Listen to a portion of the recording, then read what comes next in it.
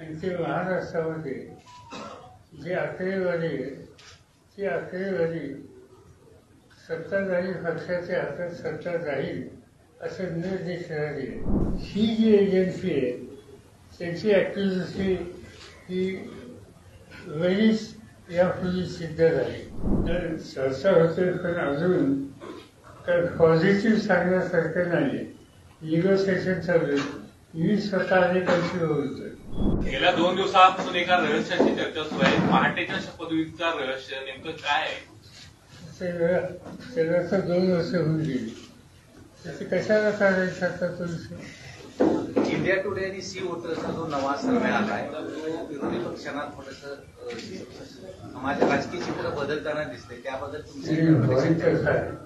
अर्थात तो सर्वे मी वाचला. त्याच्यामध्ये साधारणतः स्वच्छ असं दिसतंय की आज जो सत्ताधारी पक्ष देशामध्ये त्याच्या विरुद्ध जन्मत आहे. आणि ते महाराष्ट्रामध्ये जी आकडेवारी आहे ती आकडेवारी सत्ताधारी पक्षाच्या हातात सत्ता जाईल असं न दिसणारी आहे. अर्थात आज सर्वे होत आहे. यापूर्वीचे सर्वे रेकॉर्ड बघितले. दहा वर्षापूर्वीचे पाच वर्षापूर्वीचे तर ही जी एजन्सी आहे त्यांची ॲक्टिव्हिटी ही वेळीच यापूर्वी सिद्ध झाली. पण मी एकदम त्याच्यावर जाणार नाही. एक दिशा त्यांनी दाखवलेली आहे. आणि ती दिशा सत्ताधारी पक्षाला सोयीची नाही. असं दिसते. विरोधकांचा हा सर्वे सांगतो की देशभरात सुद्धा काँग्रेसच्या जागा वाढतील असं चित्र त्या सर्वेमध्ये दिसतंय. दिसतंय ना. तर उदाहरणार्थ कर्नाटकचा सर्वे वेगळा आहे. पण त्याची माहिती आम्ही देखील घेतली. त्याच्यात आम्हाला स्वच्छ असं दिसतंय की कर्नाटकामध्ये भाजपचं राज्य राहणार नाही. लोक त्या ठिकाणी उत्सुक आहेत. चित्र कदाचित अनेक ठिकाणी असू शकेल पण उत्तर प्रदेश हा सगळ्यात महत्त्वाचा भाग आहे. त्याची स्पेसिफिक माहिती आमच्याकडे नाही विरोधकांची मूठ बांधण्यासाठी आपल्यासह अनेक ज्येष्ठ मंडळी प्रयत्न करत आहेत तर त्याला काय कुठला स्टेटस काय आहे? चर्चा होते पण अजून तर पॉझिटिव्ह सांगण्यासारखं नाही निगोसिएशन चालू आहे. मी स्वतः अनेकांशी बोलतोय.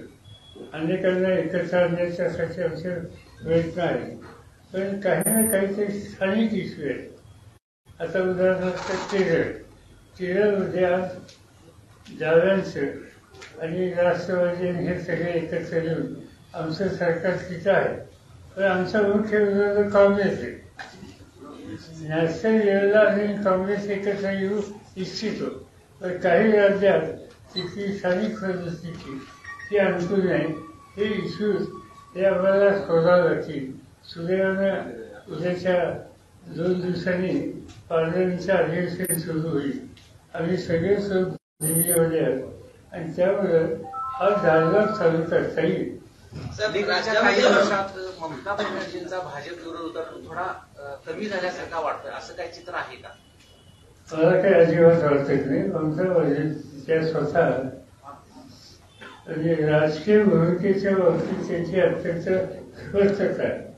पण दुसऱ्या बाजूने एक असं दिसतंय की केंद्र सरकार या नात्या एजन्सीचा वापर करून सतत त्यांच्या आणि त्यांच्या सहकार्यांच्यावर जागी घालण्याचा देणं या गोष्टी चालू आहे.